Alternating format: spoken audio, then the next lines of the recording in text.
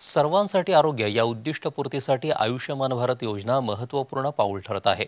बुलढाणा जिल्ह्यातल्या वडसिंगी इथले ब्रह्मानंद वानखेडे हे किडनीच्या आजारानं त्रस्त असून त्यांना गेल्या दोन वर्षांपासून प्रधानमंत्री आयुष्यमान भारत योजनेतून डायलिसिसचा लाभ मिळत आहे.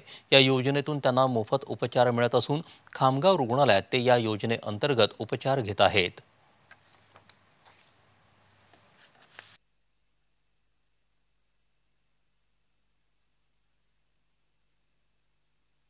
दोन वर्षापासून मी डायलिसिस घेत आहो माझी किडनी डाऊन आहे.